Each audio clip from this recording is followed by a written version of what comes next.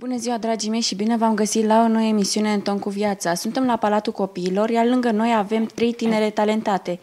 Uh, spune-ne mai multe despre ce faci tu aici. Bună ziua și bine v-am găsit! Uh, numele meu este Luiza Ciudin și sunt eleva a Palatului Copiilor de aici din Târgu Jiu, la clasa doamnei profesor Cristina Olteanu.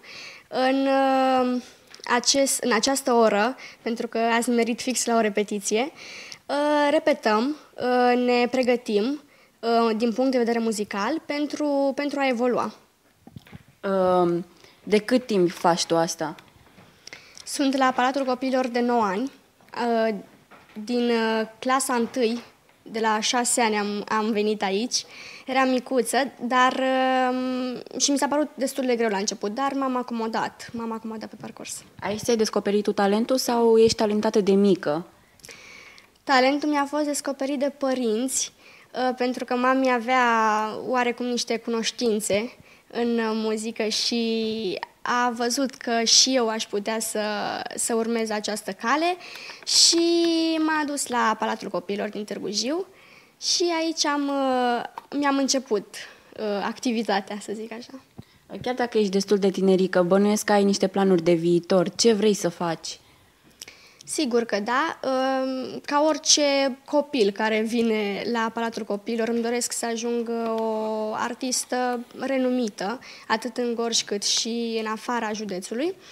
Și din punct de vedere școlar, să zic, în cealaltă, în cealaltă parte, nu m-am hotărât încă, nu știu, medicină sau drept, habar n-am, nu știu. Deci nu vrei să mergi pe muzică? Ba da, vreau să merg pe muzică, dar vreau să le fac în paralel. Crezi că o să te descurci? Să sperăm că da. Până acum asta am făcut. Am încercat să mă împart între cele două uh, activități, și școala și, și Palatul Copiilor și cred că o să reușesc și de acum încolo. Ai câștigat ceva premii din uh, muzică? Da, am câștigat foarte multe premii. Uh, anul acesta am obținut uh, niște premii importante, locul 2 la Corabia de Aur, locul uh, 1 și trofeul festivalului la Festivalul Maria Apostol de aici din Târgu Jiu și multe altele de-a, de-a lungul anilor. Ești mândră de ceea ce faci tu? Sigur că da, pentru că atunci când luăm niște premii, se, se vede munca noastră pe care am depus-o și anii de studiu își spun cuvântul.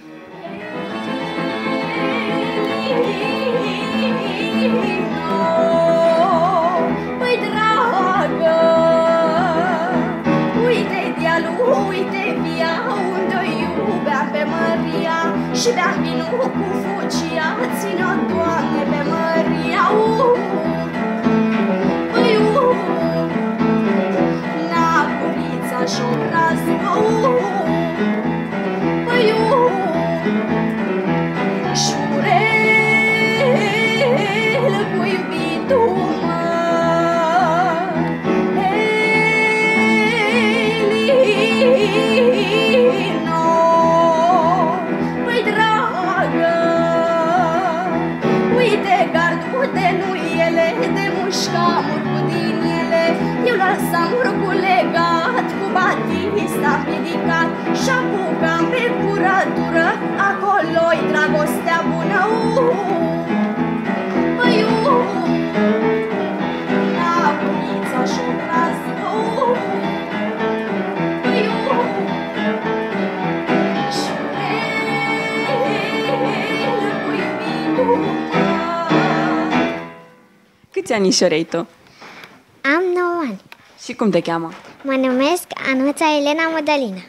De cât timp cânti?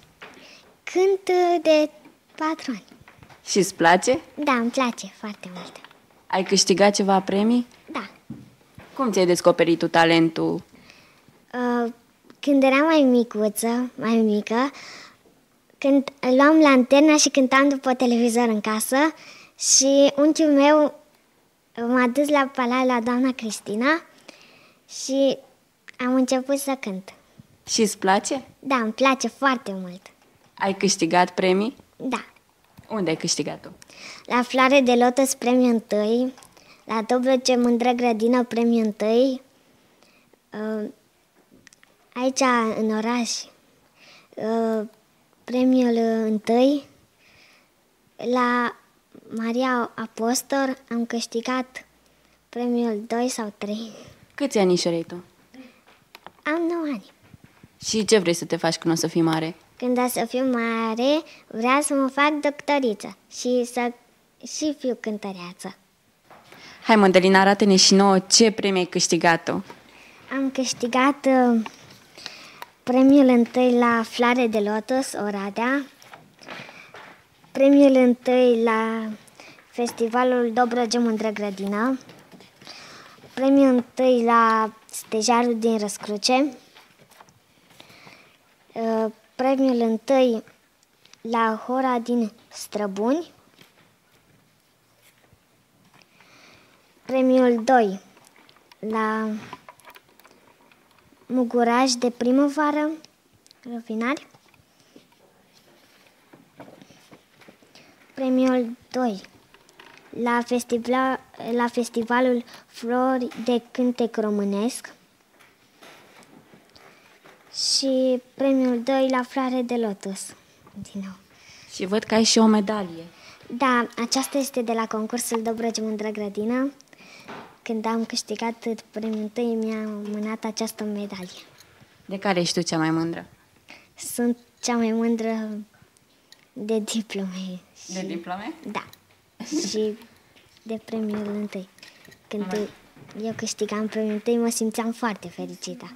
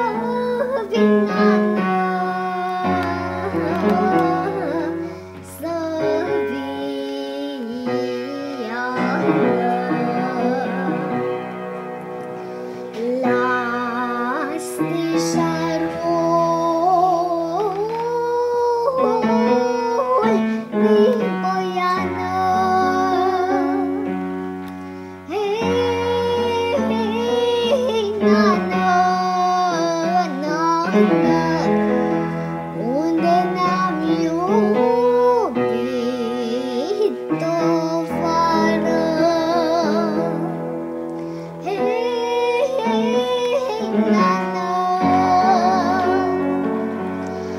unde ne-am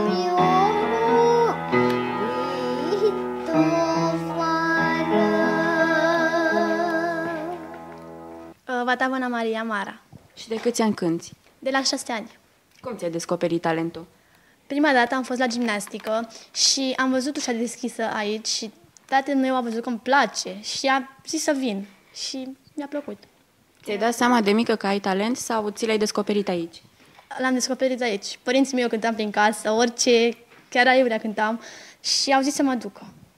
Văd că ai niște diplome. Ai câștigat uh, premii? Da, vara aceasta. Ce diplomă este asta? Uh, Trofeul festivalului Hora din Străbuni, uh, premiul 2 la Slatina, uh, premiul 1 la festivalul Justina Băluțeanu, uh, premiul 2 la Stejarul din Răscruce, uh, premiul 1 la Licurici, la Ion Diaconescu, uh, marele premiu la Filoftea Lăcătușu. Am și un premiul 3 la un festival de muzică fran- din Franța, uh, poezii, chanson, et teatru. Și atât. Mai am mai multe, dar acestea sunt recente. Da, deja sunt, sunt destul de multe. Da. Vrei să urmezi cariera asta în muzică sau... Da, o să fac la fel, paralel, pentru că eu aș vrea să fiu profesoară de matematică, dar și de muzică. Cum te descurci și la școală și aici? Destul de bine. Încerc să... Te înțeleg profesorii? Da, Te susțin în cea mai mare parte familia? da, mă susțin. Mare realizare a ta de până acum pe plan muzical? Pe plan muzical, păi premiile, emisiuni, că am fost, um, am fost la o preselecție, am luat-o la o emisiune și am ajuns și a, a fost cea mai mare realizare a mea. Ești mândră de ceea ce faci tu? Da, chiar îmi place. Bine, îți mulțumim mult și să vedem, să ne faceți câteva demonstrații. Da. Care este numele tău? Bună ziua, numele meu este Mosescu Ștefania și am uh, 13 ani. De cât timp ești aici? De 5 anișori. De la câți ani când tot? De la 5 anișori sau dinainte prin casă ca și colegele tale? Prin casă n-am uh, fost descoperită de mică, dar am venit aici și aici mi-am descoperit talentul. Cum ai ajuns tu aici? Cum ți-ai dorit să vii aici? Uh, De la televizor, văzând multe fete și pe internet și am zis să încerc și eu și am, am încercat și îmi place chiar foarte mult. Vrei să urmezi asta pe viitor? Da. Aș vrea să am o carieră în muzică și tot atât uh, și pe planul cu școala. Nu m-am gândit, profesoară, aș vrea o profesoară de chimie. De ce cânti muzică populară și nu alte genuri? Pentru că asta, muzica populară, mă face fericită. Mm. Îmi plac și alte genuri, dar muzica populară este... Adică îmi place foarte mult și nu aș renunța. Te descurci și cu școala și cu Palatul Copiilor? Da, în paralel, da. Te susțin părinții? Da, absolut, da. Numele meu este Olteanu Cristina. În calitatea mea de dascăl, vă spun bine ați venit la Palatul Copiilor. Uh, Sunt profesor din anul 2009 și uh, de-a lungul acestor câțiva anișori am reușit să descoper talente, copii talentați, chiar de la cele mai uh, mici vârste, începând cu patru anișori. Dacă uh, găsesc acel talent la copii, copiii rămân și frecventează cercurile, uh, cercul nostru de muzică populară. Uh, Sunt foarte mândră pentru că au obținut premii, uh, am mers la televiziuni importante în țară, la televiziuni locale, unde uh, am reușit să ne facem activitatea cunoscută și uh, cea mai mare satisfacție este uh, atunci când uh, avem aceste rezultate în urma muncii noastre. Suntem prezenți la toate evenimentele, uh, începând cu spectacolele de uh, deschiderea anului școlar, de 1 decembrie, de Moș Crăciun, de 1 martie, de Ziua Copilului. Deci toate, uh, punctăm toate aceste uh, zile importante din uh, calendar și mă bucur foarte tare că pe lângă faptul că sunt dascăl, eu sunt și o prietenă a copiilor.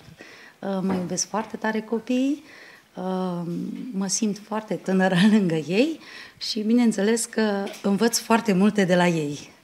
Să înțeleg că dumneavoastră ați- ați descoperit și fetele de astăzi, că ne-au zis că aici și-au descoperit adevăratul talent. Așa este. Uh, Le-am descoperit și uh, faptul că Palatul Copiilor este o rampă de lansare pentru micile talente. Adică, uh, practic, uh, îi învăț primele noțiuni. Primele noțiuni. După aceea, dacă ei uh, rămân în continuare la palat, mă bucur foarte tare. Dacă alerg alte instituții, iar nu mă supăr. Important este că ei nu trebuie să uite de unde au plecat și cred că nu o să uite. Cele mai importante premii sunt premiile naționale deocamdată. Uh, Avem și premii internaționale. Nu pot să spun că este un premiu mai important decât altul, pentru că ele sunt pe categorii de vârstă și de aceea un premiu la, luat la o categorie mai mică este la fel de important cu un premiu luat la o categorie de vârstă mai mare, pentru că uh, asta este la copii, toate sunt pe categorii de vârstă.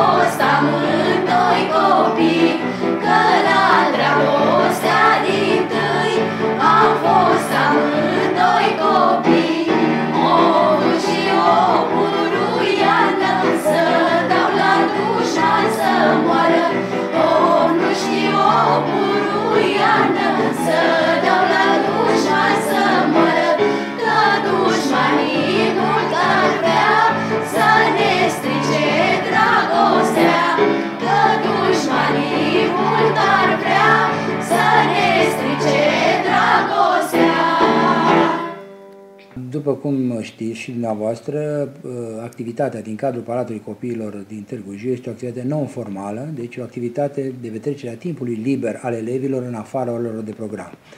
Și bineînțeles că aici vin uh, elevi care să-și satisfac, să satisfacă uh, pasiunile și plăcerile pe care le au în mod uh, util și plăcut la Palatul Copiilor. După cum ați văzut și dumneavoastră și probabil că o să apară și imagine pe ecran, uh, sunt copii minunați, sunt copii talentați, sunt copii care ne-au reprezentat așa cum se cuvine uh, la concursurile naționale și internaționale.